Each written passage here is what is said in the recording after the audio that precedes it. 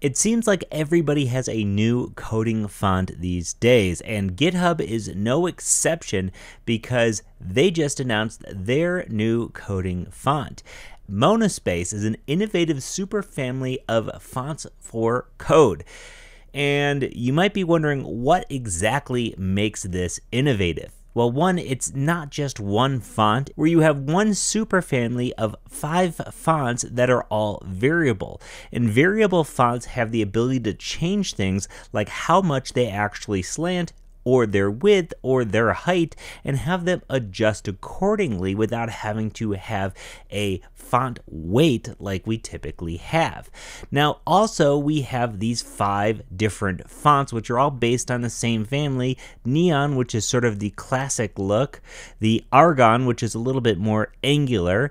Xenon, which has serifs, Radon, which is kind of Comic Sansy, and then Krypton, which is kind of angular, and they're calling it a mechanical sans. It's the most different and interesting, if you ask me. However, all of them do look pretty nice. What's so great about this website, which is monaspace.githubnext.com, is that you can see exactly what these fonts might look like with all of their variations. In fact, you can go heavy weight, lightweight, and you can even see them with ligatures on and off. I like ligatures a lot lot. I know some people don't. It's a personal preference thing, but I'm happy that they're here.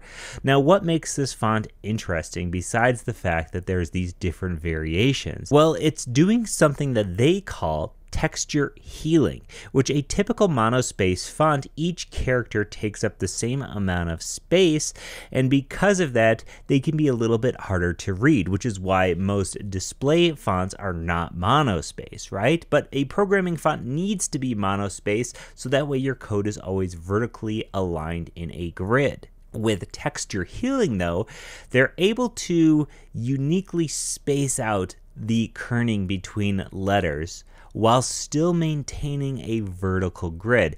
You can see it in this example right here where the M kind of really uh, is not directly in the middle of this grid and it's able to take up more space the way a capital M typically would in a font.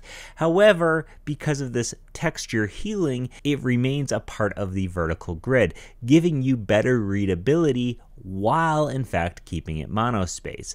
Now, if you want some website inspiration, this website is fantastic. It shows you all sorts of cool things and really shows off this font in a great way. You can see this variable font nature in action. Talks a lot about the ligatures that exist in this font as well. Look at these squigglies. I love a good squiggly in a ligature font. This thing rules. And let me tell you one of the very best parts about this font is that you can just download it. So check it out. Which of these variants are you using? What are your settings like?